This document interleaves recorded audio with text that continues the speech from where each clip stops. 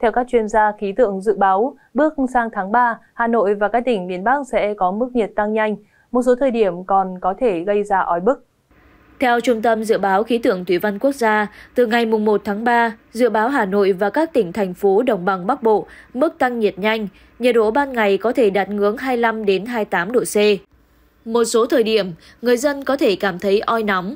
Cùng lúc, độ ẩm tại thủ đô giảm thấp gây ra cảm giác hanh khô. Trạng thái trên dự báo kéo dài trong ít nhất 10 ngày tới trước khi nổ mầm, mưa rông quay trở lại khu vực. Trong khi đó, khu vực từ Hà Tĩnh đến Khánh Hòa vẫn duy trì mưa rông, mưa tập trung ở các tỉnh, thành phố Trung Trung Bộ, cục bộ mưa lớn trong đêm ngày 28 tháng 2. Người dân đề phòng các hiện tượng đi kèm như lốc, xét, mưa đá và gió giật mạnh. Đồng thời, một số khu vực trúng thấp có thể ngập úng. Tại Nam Bộ, ngày nắng giáo, ít khả năng xuất hiện mưa rông hoặc nắng nóng, nhiệt độ giao động 30 đến 33 độ C.